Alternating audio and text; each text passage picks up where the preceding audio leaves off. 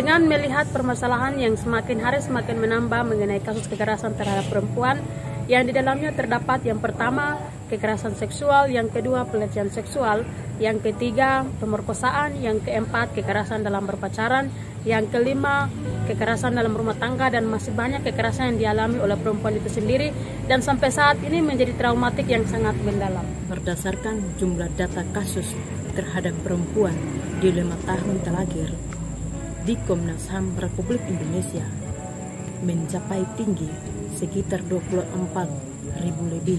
Perlindungan hukum yang diberikan terhadap perempuan yang menjadi korban tindak kekerasan atau pelecehan seksual melalui Undang-Undang Nomor 23 Tahun 2004 tentang penghapusan kekerasan dalam rumah tangga.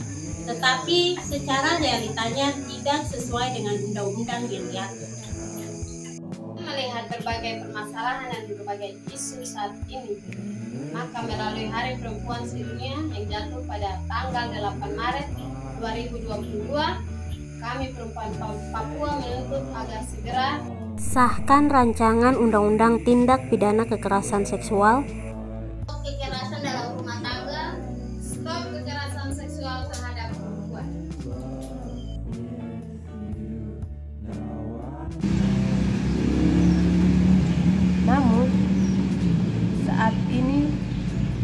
di daerah konflik masih terus terjadi pemerkosaan secara paksa terhadap perempuan. Perempuan dan mama-mama. Kami sebagai perempuan yang melahirkan kehidupan, kami minta stop kekerasan seksual dan pelecehan terhadap perempuan Papua dan perempuan yang ada di daerah konflik. Dilihat dari pandangan umum, perempuan mengalami kekerasan berlapis gender dalam keluarga maupun lingkungan. Dan perempuan dijadikan barang yang dijual beli dengan harga yang tinggi tanpa memikir kehidupannya. Kau stop, saya dengan kau itu sama. Kita diciptakan untuk saling melengkapi, bukan untuk dijual. Perempuan dan investasi. Karena adanya perusahaan, sapu kehidupan hancur, sapu tubuh hancur, sapu tanah, tempat saya cari makan, sapu hutan diambil secara paksa dan beberapa tahun ke depan sapu, sapu kehidupan pun akan hancur. Seperti tidak bisa tanam, tidak bisa cari ikan di laut dan ketersediaan air bersih pun tidak ada. Sapu anak-anak mengalami sakit yang tidak bisa disembuhkan akibat limbah perusahaan. Dengan alasan ini, saya perempuan menolak masuknya berbagai perusahaan di Papua.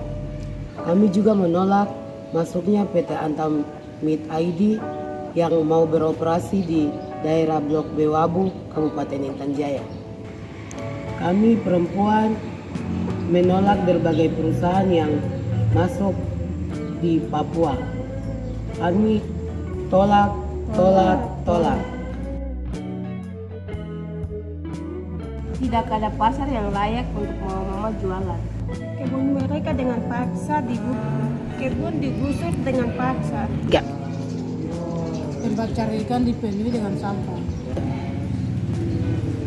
Mama-mama yang di kota saja mengalami hal seperti ini. Apalagi mama-mama yang ada di pedalaman.